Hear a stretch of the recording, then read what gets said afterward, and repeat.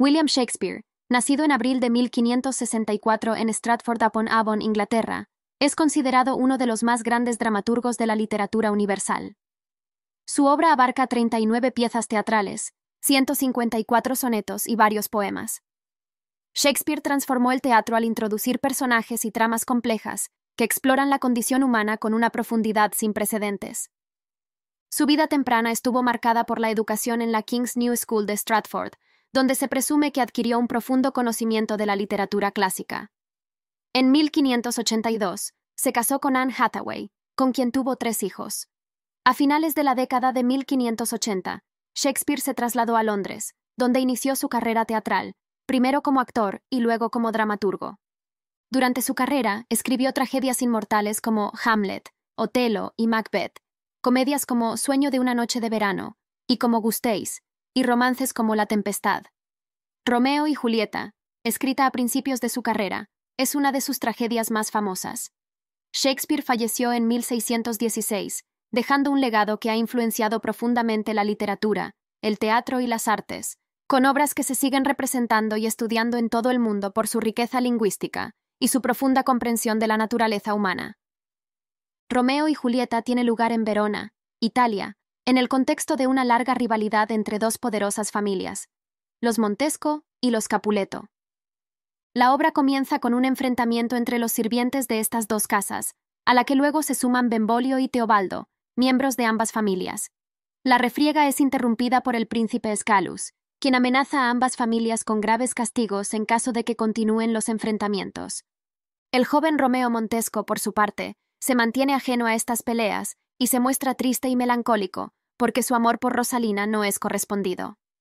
Romeo y su primo y amigo Benvolio se encuentran con el bufón de los Capuleto, que lleva consigo una lista de invitados a una fiesta que se realizará en la casa de su amo. Como es analfabeto, Romeo lee la lista para él, y allí encuentra a su amada Rosalina. Así, Benvolio y Romeo deciden asistir enmascarados al evento, aunque este tiene lugar en la casa enemiga. En la celebración, Romeo se enamora profundamente de Julieta, la única hija de Capuleto, un enemigo de su familia. A pesar de que la fiesta tenía como propósito que Julieta conociera a Paris, un noble pretendiente, se enamora de Romeo en cambio. Intercambian promesas de amor y se besan. Antes de que la fiesta termine, la nodriza de Julieta revela la identidad de cada uno a la otra. Después de la fiesta, Romeo entra secretamente al jardín de los Capuleto. Desde allí, escucha a Julieta, quien confiesa su amor por él sin darse cuenta de su presencia. Romeo se revela y le asegura que su amor es correspondido. Acuerdan que, al día siguiente, Julieta enviará a su nodriza para encontrarse y planear su matrimonio. Ese mismo día, se casan en secreto en la celda de Fray Lorenzo, quien une a la pareja con la esperanza de poner fin a la rivalidad entre sus familias. Ese mismo día, Benvolio y Mercucio, amigo de Romeo, se cruzan con Teobaldo, primo de Julieta.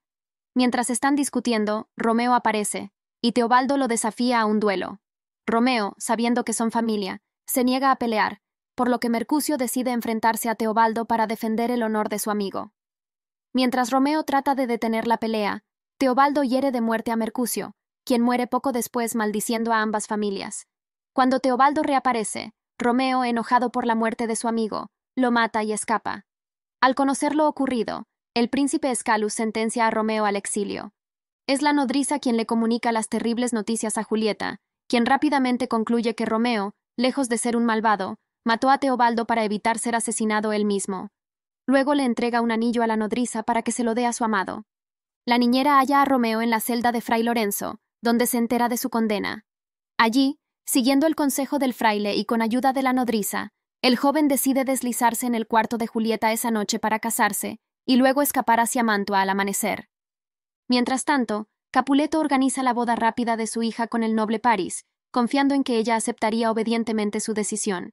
Cuando le comunican esto a Julieta, ella se niega a casarse, lo que enfurece a su padre.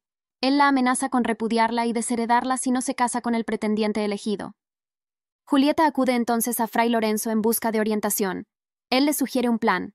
Ella simulará arrepentimiento ante sus padres y la noche antes de la ceremonia ingerirá una pócima que la hará parecer muerta por dos días. De esta manera, evitará casarse con París y Romeo, al tanto del plan, la rescatará en secreto cuando recobre el conocimiento. No obstante, al pedir disculpas a su padre, Julieta ve cómo éste, emocionado, decide adelantar la boda un día. Julieta entonces bebe la pócima y es descubierta, aparentemente sin vida, al día siguiente. Mientras tanto, el mensajero de Fray Lorenzo enfrenta un inconveniente que le impide entregarle a Romeo la carta del fraile con el plan. En su lugar, recibe la visita de su criado, quien le informa sobre la muerte de Julieta. Desesperado, Romeo adquiere un veneno mortal y se dirige a la tumba de su amada para unirse a ella en la muerte. Por otro lado, en cuanto se entera de que su mensaje no llegó a destino, Fray Lorenzo se dirige hacia el sepulcro de los Capuleto para rescatar a Julieta al despertar. No obstante, Romeo llega primero y se encuentra en el camposanto con Paris, quien iba allí a dejar flores en la tumba de Julieta. Al ver a Romeo, intenta detenerlo por no respetar el destierro. El joven Montesco trata de evitar un conflicto con Paris, pero al insistir este en detenerlo, acaba enfrentándose a él y dándole muerte.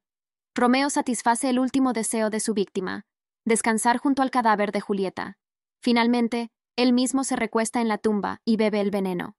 Fray Lorenzo llega demasiado tarde, al percatarse Julieta de que su amado yace sin vida a su lado, se quita la vida con el puñal que llevaba Romeo consigo. Cuando el príncipe, los Capuleto y el padre de Romeo llegan al cementerio, Fray Lorenzo y los pajes de París y Romeo reconstruyen los acontecimientos.